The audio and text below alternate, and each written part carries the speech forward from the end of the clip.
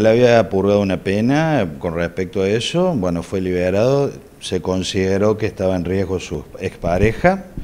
la joven Villarruel, la cual, bueno, eh, primeramente se le había otorgado el botón antipánico y bueno, después cuando ya había sido juzgado, este, le fue restituyó el botón y ahora se le volvió a, este, a otorgar debido a que del cuello había salido en libertad había sido juzgado y por supuesto resuelto la liberación del mismo y bueno, se consideró riesgo por algunas amenazas que había efectuado, supuestamente habría efectuado Cuello en contra de su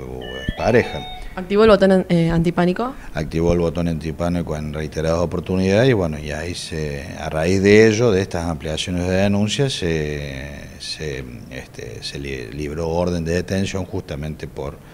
eh, este hecho de lo que es lesiones leves y amenazas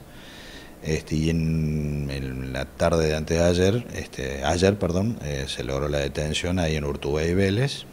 el cual tenía ya pedido detención, personal de la patrulla logró la detención y lo puso a disposición nuevamente de la justicia. No, no, de salud está bien, eh,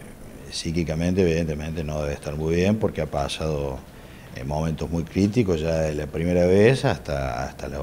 la última ocasión, así que de igual manera bueno está siendo contenida y bueno dándole solución lo que es en la parte de la justicia para la nueva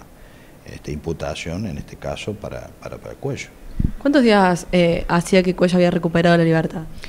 Y hacía aproximadamente tres días o tres, cuatro días, o sea, no, no mucho. Pero de igual manera, bueno, esto se inició del mismo